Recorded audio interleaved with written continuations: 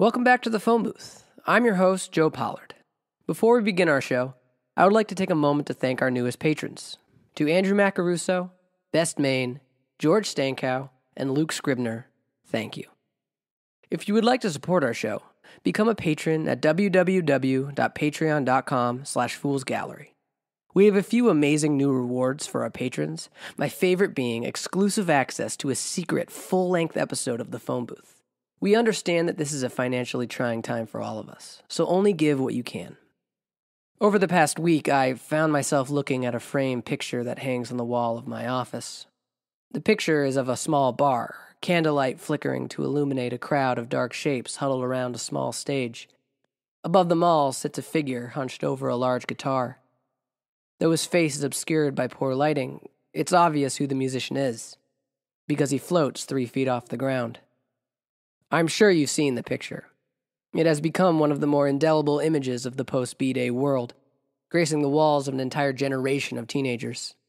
It is an image of the Crossroads Bar in Nashville, Tennessee, the birthplace of a musical revolution that gave us legends like Manfred Jones, Rosalind Rhea, Jeremiah Riles, and of course, Georgia.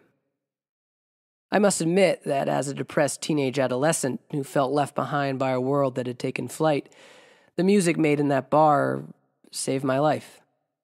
A fact I couldn't help but tell the writer of the following episode when I contacted him. Archibald Turn, the large, charming, and often drunk owner of the Crossroads Bar, waved my adulation aside. He, as he will say many times in the following episode, didn't do anything. And now, without further ado, let's take another step inside the phone booth for the first episode of our second season Crossroads, Part 1.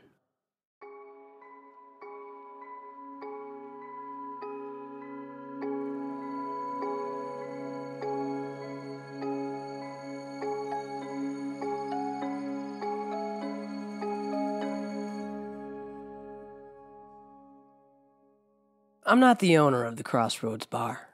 Never was. Before B Day, Crossroads was a sandwich shop called the Twisted Tomato. They had this special where they threw bacon, apple, chicken, and this weird garlicky mayo on homemade honey oat bread. I wake up some nights, my mouth watering, knowing I would trade the entire Crossroads movement for one more bite of the Twisted Tomato special. At least sandwiches don't tear your heart out. But the creators of that shop are long gone. They closed up a few weeks before B Day, boarded up the windows, locked the doors, and disappeared. Never found out why they left, but I'm thankful they did. Because I wouldn't have made it otherwise. People ask me if I knew what Crossroads would become when I first saw her. I laugh in their face. I'd have to be insane to imagine something like that. No. All I saw when I broke the lock on the front door was a place to squat that was maybe a bit safer than the streets. It was three days after B Day and the world was burning. There was no police, no National Guard, hell, no government.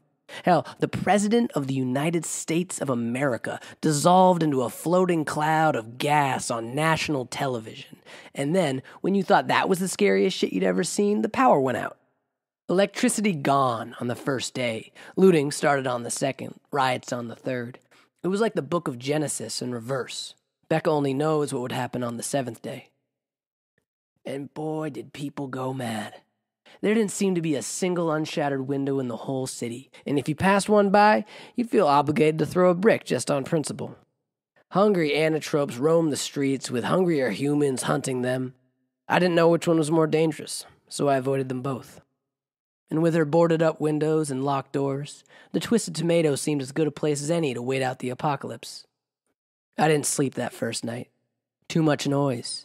Too many people in the streets, breaking into shops, taking what they could get and fighting for what they couldn't. The next morning, the riots had stopped, but I could feel eyes on the streets, waiting for some idiot to venture out. I saw an old man walk down the sidewalk only to get dragged off by a bunch of fire breathing youngsters. The city was forming into gangs, and being out in the open was just inviting violence. So I decided to stay in. Safest way forward. I made the Twisted Tomato my fortress, and if any schmucks tried to take it from me, I'd make them pay with their lives.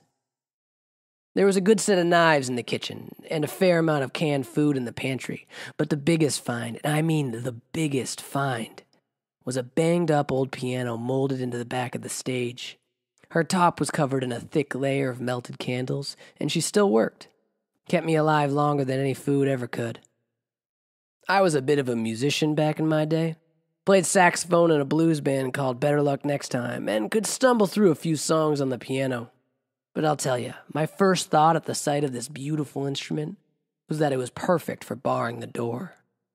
But thankfully, the old bitch was too stubborn to be moved. She seemed to be welded into that stage, and no matter how hard I pushed, she pushed me right back.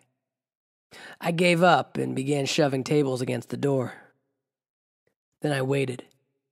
Days passed. Figures walked by the shop, tried the doors, and then decided it wasn't worth it.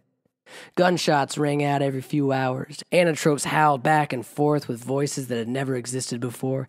But then, between all the noise, came a silence. This horrible silence that gave way as off in the distance a scream would build from nothing, grow louder and louder, only to be cut short by a sickening crunch as Flyer hit pavement. It was its own kind of music in a way. The music of the world ending, and I had no other choice but to listen. It was enough to drive a man mad, and maybe it did. For weeks I sat in the Twisted Tomato, the songs of Armageddon replaying again and again. And then one night, I just couldn't take it anymore. I lit the piano candles, pulled up a stool, and began to play. If I had to listen to music, it might as well be Ray Charles. I played, man. I played the old stuff, the good stuff. I didn't play it well, but it didn't matter. I played it all the same. And as Ray's music filled the room, the rest of the world dropped away. I forgot that there were monsters out there in the night. Forgot that I was putting myself at risk by lighting a candle and making some sound. I forgot about all my worries. Because that's what music does. It puts your fears out in the world so you don't have to deal with them alone. No one came to kill me that night. So the next night, I lit the candles back up and went back to the piano. Once again, I lost myself in the music. Did a little Stevie Wonder, but stuck mostly to Ray. I was halfway through Georgia on my mind when a voice came in through the window in perfect harmony. I stopped playing, but the voice continued. It was clear and beautiful and didn't need an instrument to bring tears to my eyes. The voice finished the song alone and then fell away, leaving the silence all the more empty without it.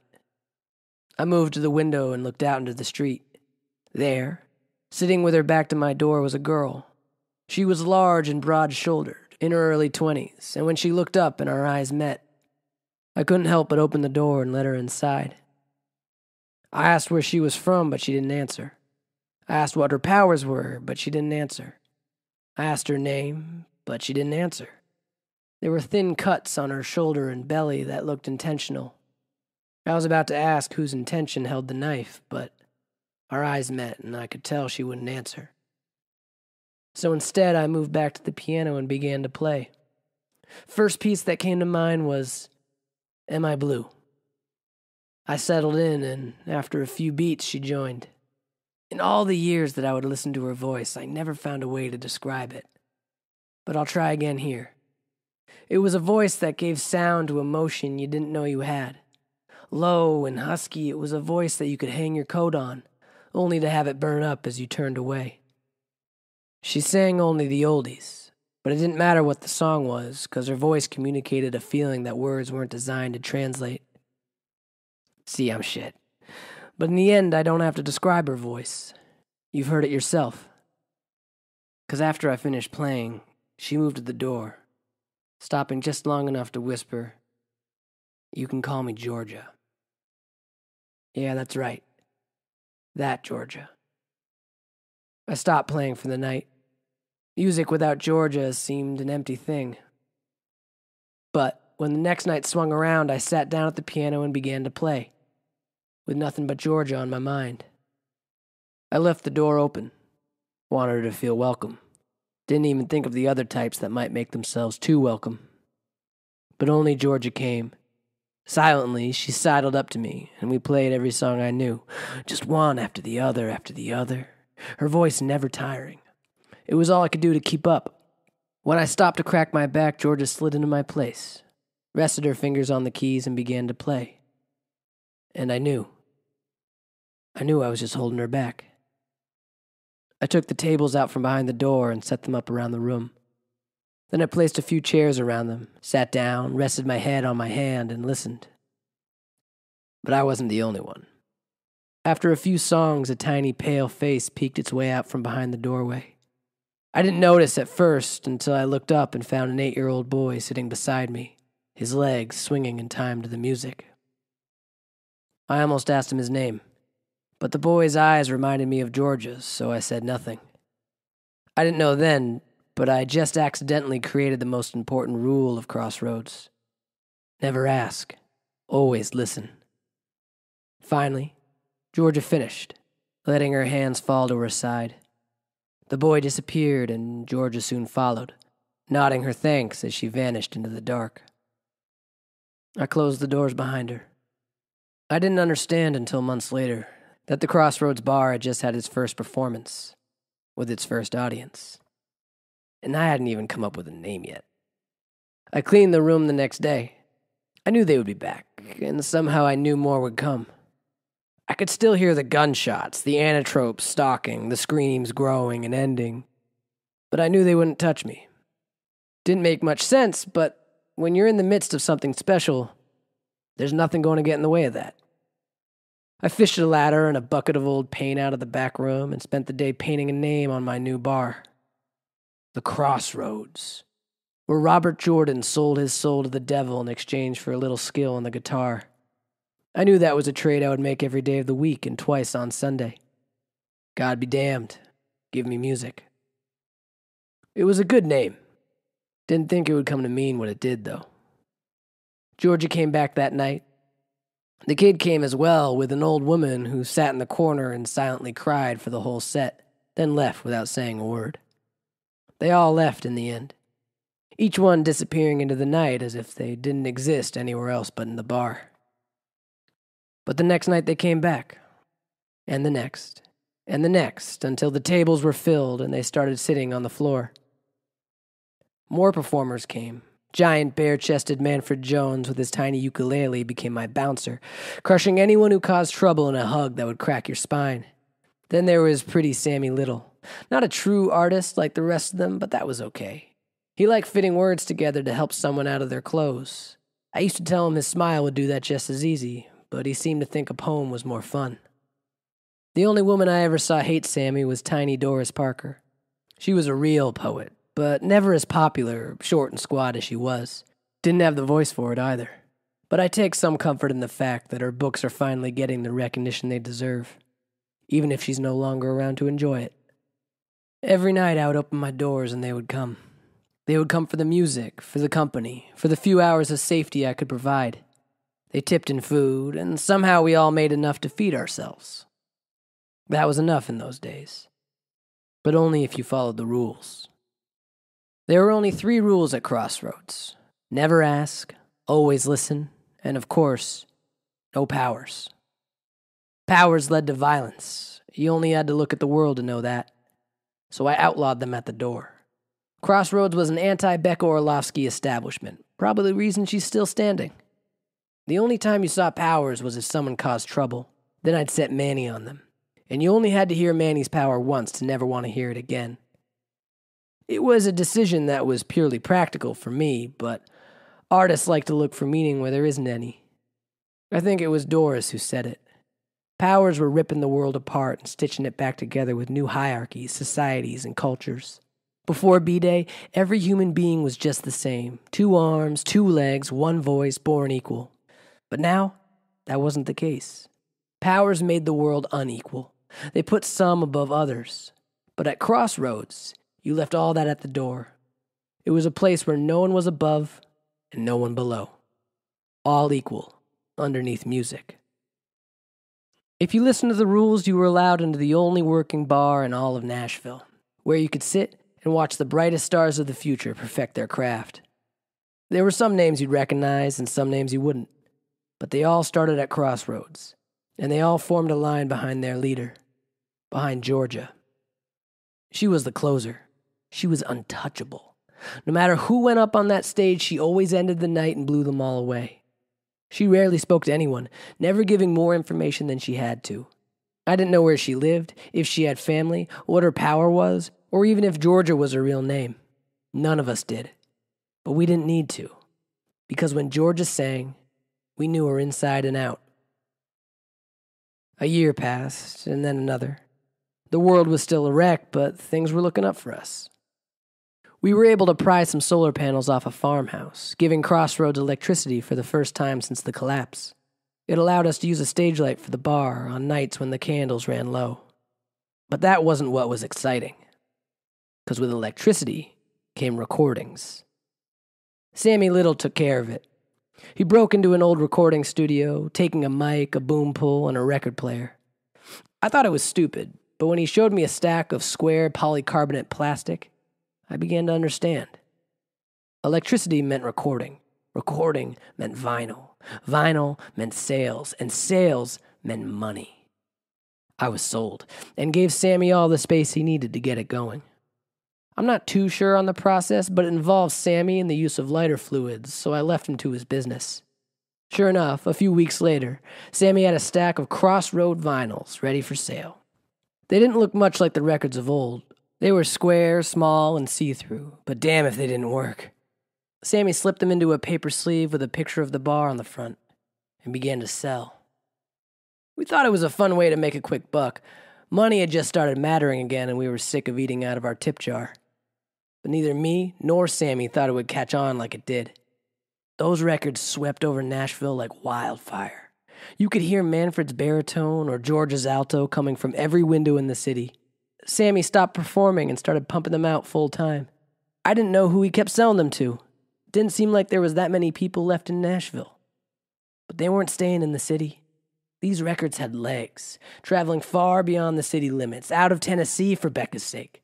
People were listening, and they were hungry for more. We started recording new sets, but couldn't make them fast enough. Pretty soon, we were making more money than we ever had before B Day. I set Sammy up on the second floor, and he stayed up there all night, just printing music.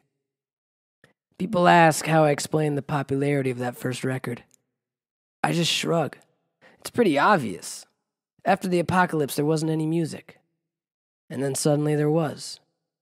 Simple as that. We heard of copycat bars springing up all over the country, of house parties where they would just sit around the record player and listen on repeat. People started showing up in Nashville, wide eyed, trembling, with a guitar on their back. When we asked where they had come from, they said that we were breaking the rules. Never ask, always listen. But we understood what they were about. Nashville had become the holy land of music again. Crossroads had become its mecca. And these kids, who had traveled across the burning hellscape of what remained of America, were on the last legs of their pilgrimage.